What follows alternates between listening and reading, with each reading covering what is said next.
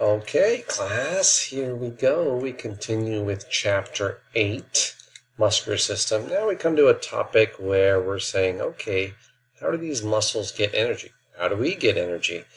Um, so let's dive a little bit deeper. Sometimes this is a little complicated for some students, but we'll try to go slow, try to take it one step at a time. I also have some handouts or step-by-step uh, on Canvas as well that you can look at. But let's take a simple approach. Let's say that I want to just move for a little bit. You know, I just want to reach for a little bit, take a few steps. Well, your muscles have ATP stored in them. A very small amount, but that can give you a little bit of energy, maybe three to six seconds. Right? So uh, think of something that you do for three to six seconds. Well, you have this ATP that's kind of floating around that can give you that energy. But if you move longer than that, you're like, okay, well, what am I going to get my uh, source from? Where do I get this energy? Well, you also have something called creatine phosphate. And I'm sure you've heard of this, uh, uh, you know, if you work out. Uh, but creatine phosphate is available because what you have in the muscles, you don't have as much ATP, but you have something called ADP. And because ATP is not stable, it'll break down to ADP, and you've got a bunch of ADP just hanging out in your muscles. But in order for us to use energy, we need ATP. So ATP is adenyl triphosphate, where ADP is adenyl diphosphate. So where do I get the extra phosphate from? From for ADP to convert to ATP. You're like, okay, this is getting a little complicated, but bear with me. Well, then that's where the magic happens, and creatine phosphate gives you that extra phosphate. So the ADP, the 2, becomes, if I take the phosphate from creatine and give it to ADP, then it becomes adenyl triphosphate. There you go. Now, when creatine phosphate gives that phosphate to ADP and becomes ATP, it gives us energy for, you know, I want to say about 10, 10 seconds, 10, 15 seconds. So people that take creatine phosphate in the gym, well, that can extend their ability to go from 10 seconds, 15 seconds, maybe a little bit longer because they have that extra creatine phosphate in them. The research says that it doesn't matter when you take it, pre-workout, post-workout, or just anytime throughout the day, you will have that extra creatine phosphate in there. But what that allows you to do is maybe squeeze out an extra rep, squeeze out a few extra uh, reps so you can't just take creatine and say, I'm going to get bigger. You still have to work out, and you have to work out to fatigue, so it allows you to take a few extra steps. Uh, and by taking a few extra reps, then you'll get a little bit more muscle gain. So um, that's how creatine phosphate will work. Now, when creatine phosphate gives that extra phosphate to ADP, it produces a byproduct called creatinine, which is bad. So we want to flush that out. So we take the creatine back into the blood, back to the, the kidneys and pee it out. Um, so sometimes in uh, when we're doing blood work, we can also measure creatinine levels in the blood. And if there's a high amount, then obviously you're not flushing that out and there could be a problem somewhere. Okay, so let's just re uh, revisit energy real quick. Okay, so you've got some ATP that's just hanging out in the muscles that can give you quick energy, like boom, boom, boom. As soon as I run out of ATP, because it's unstable, I have a whole bunch of ADP, but in order to use that ADP, I need creatine phosphate. Okay, so creatine phosphate will give that extra phosphate to ADP and become ATP, and then I've got about 10 seconds, 10 to 15 seconds worth of energy.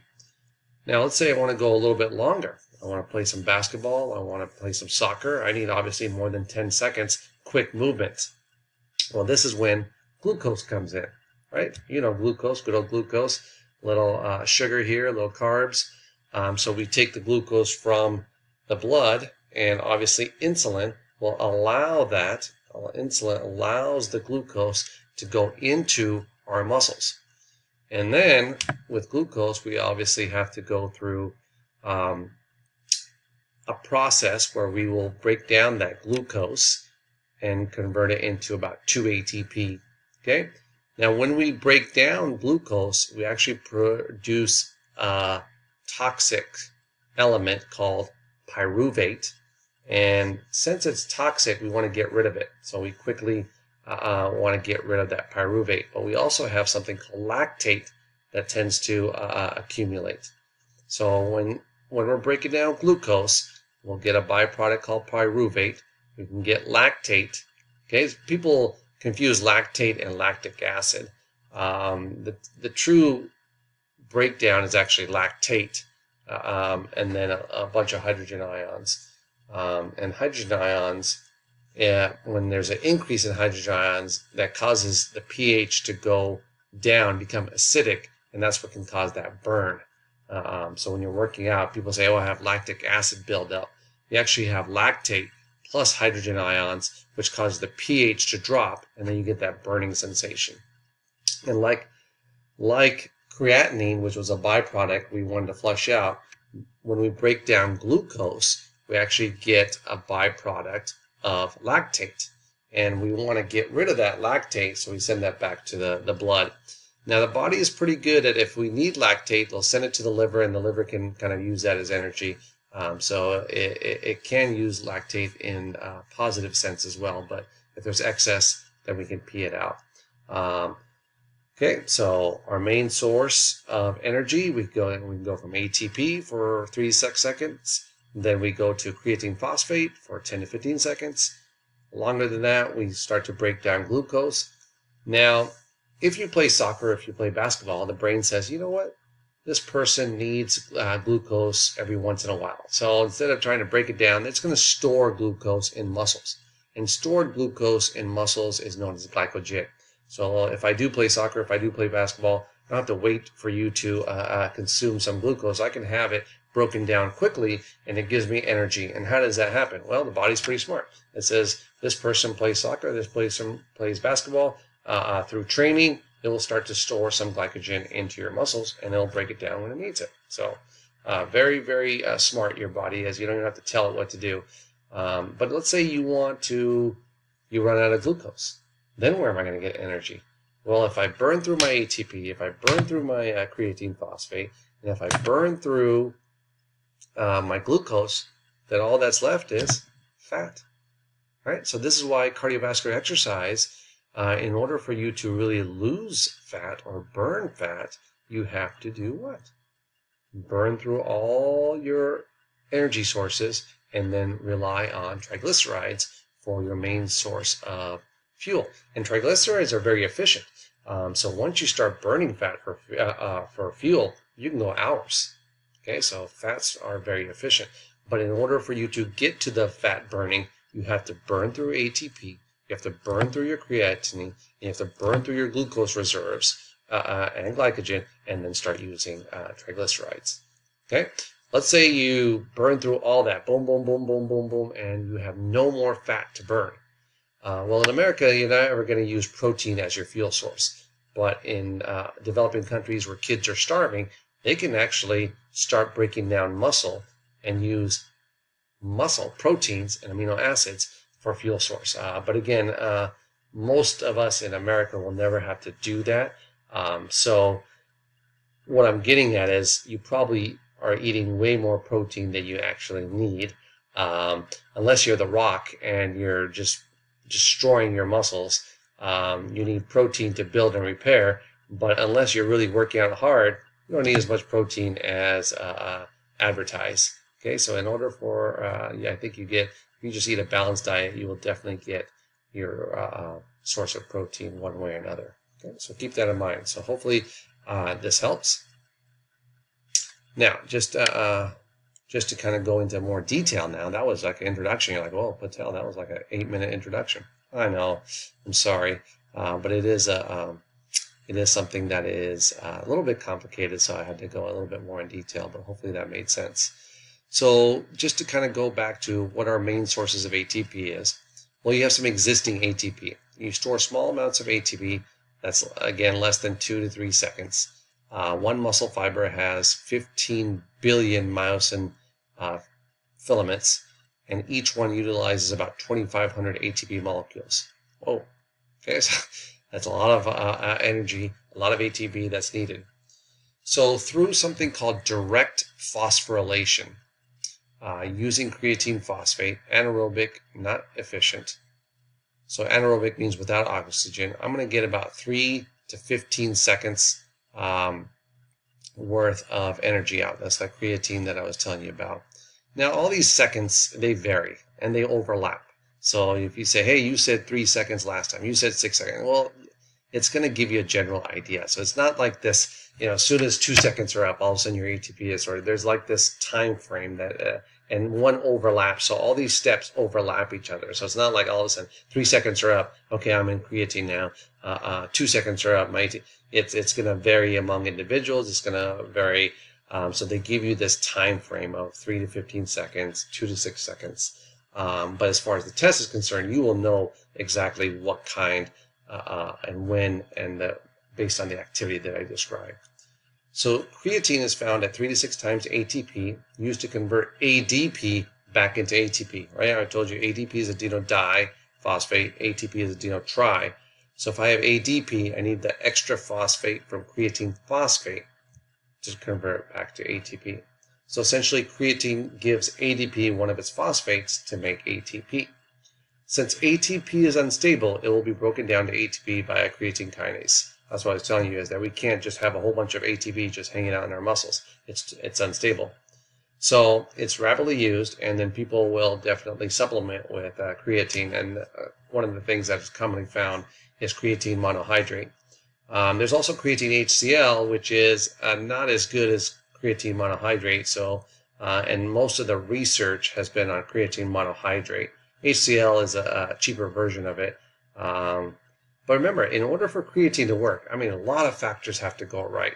I mean, let's say you take the creatine, it's got to be broken down into the stomach, then the small intestine. Small intestine absorb into the bloodstream, and then the bloodstream takes it to the muscle cells, and then the, hopefully the muscle cells will uh, uh, be able to use that creatine. So a lot of factors have to go in in order for us to use the creatine that we supplement with.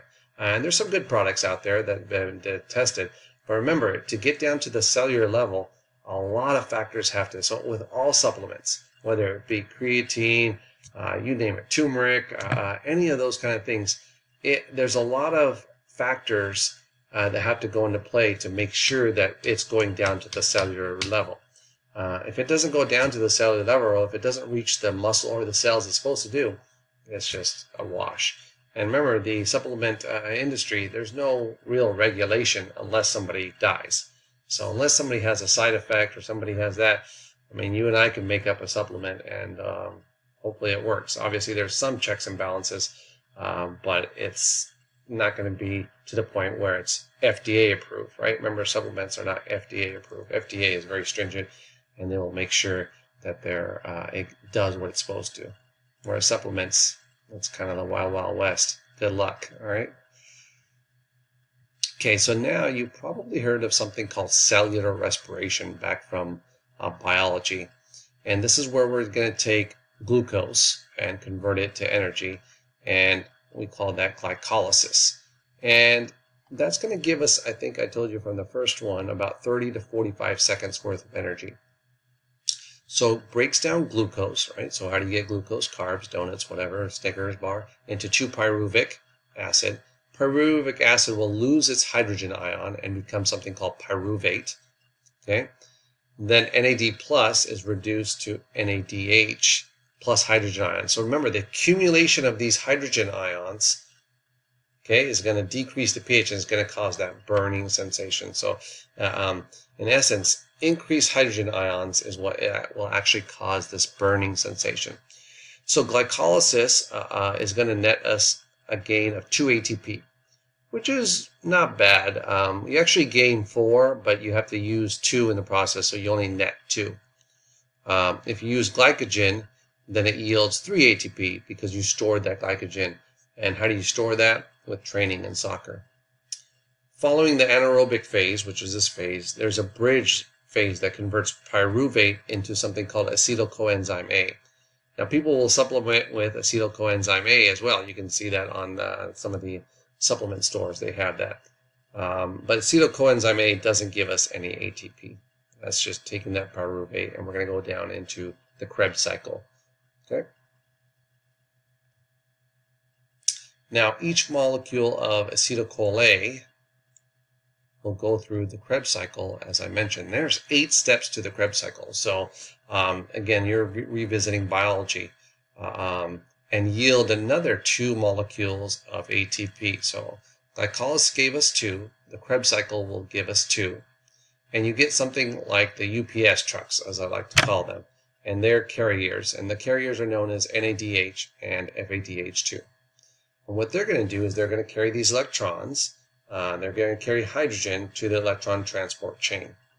And via the electron transport chain involves the transfer of these electrons from the hydrogen atoms and the carriers, NAD plus and FAD8, because they're going to carry the hydrogen. So that's how NAD plus becomes NADH, and FAD becomes FADH2 because they're carrying these hydrogen ions to oxygen through a series of oxidation and reduction reaction. So you're like, oh my gosh, this is chemistry now?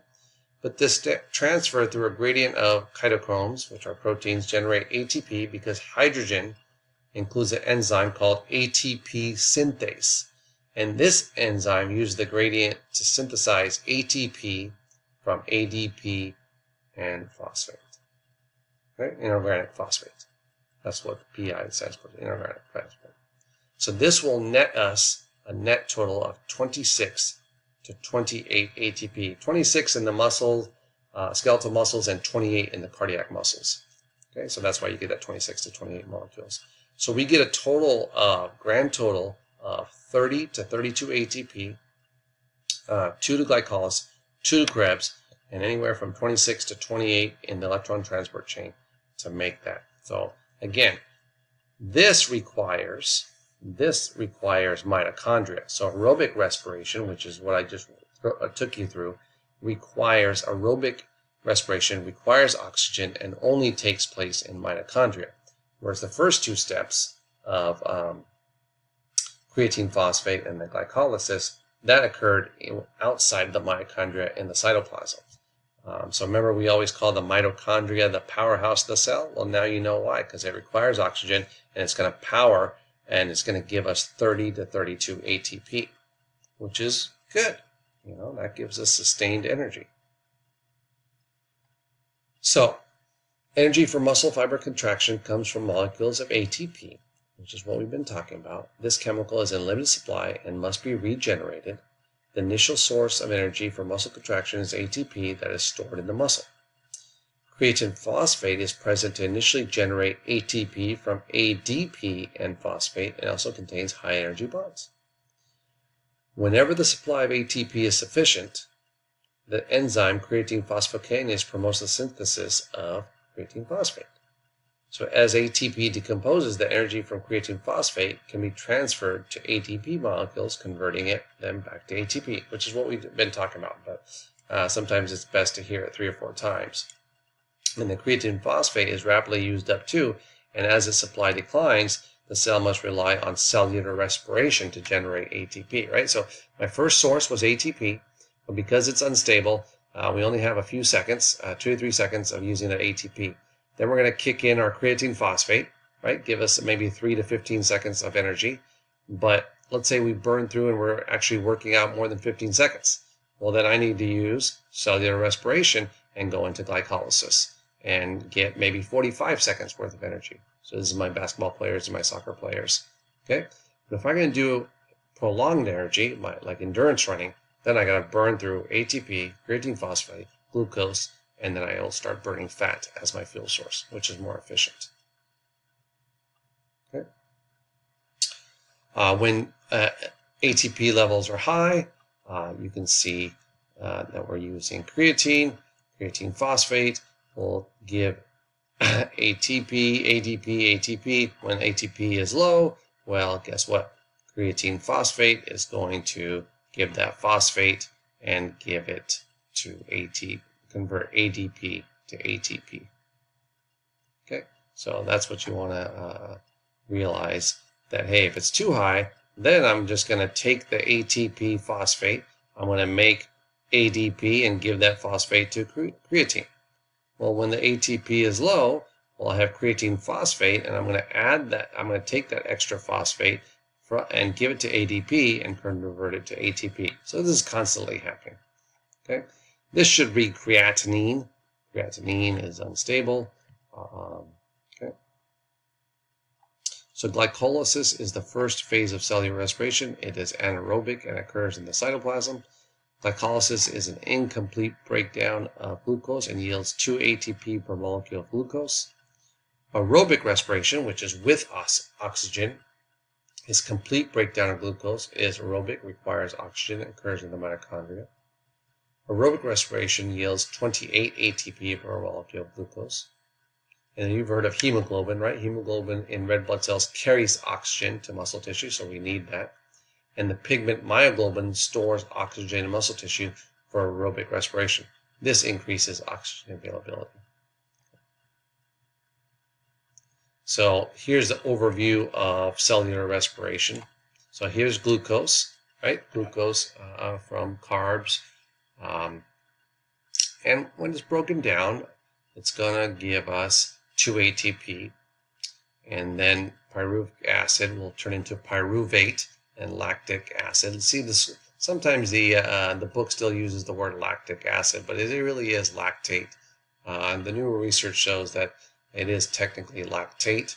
Uh, um, okay, and what we'll do is we'll take the pyruvic acid and use an enzyme called coenzyme A, and we'll go through something called the Krebs cycle, which is about eight steps. And the Krebs cycle gives us about 2 ATP. And then we have these carriers, NAD plus and FAD, which will take these hydrogen ions and take them to the electron transport chain.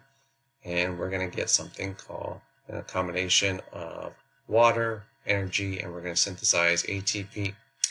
Remember the, uh, um, we needed oxygen, of course. Remember in the first phase of using creatine, the byproduct was creatinine. So we had to flush that out, right? So that's bad. When we use glucose, we turned it to a toxic pyruvate and lactate, which we had to get rid of the lactate. Well, if we use aerobic respiration, we use oxygen, right? And the byproduct of that is going to be carbon dioxide. So we're going to have to get rid of carbon dioxide and we breathe out carbon dioxide because that's the toxic part. So the three things that were bad that we had to get rid of were creatinine, lactate, and carbon dioxide. So those are all byproducts and things that are uh, bad for the body, and they get rid of that. Okay, so hopefully that makes sense. Um, let's stop there, and then we'll talk about oxygen debt.